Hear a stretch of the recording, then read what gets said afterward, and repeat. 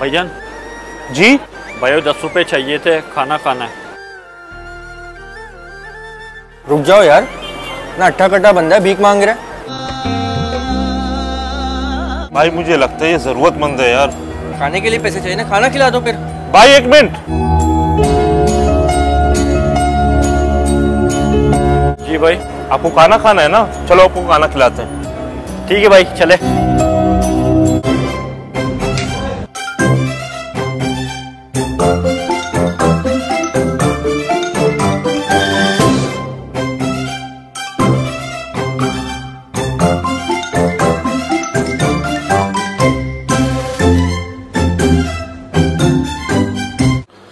भाईजान बिल लाना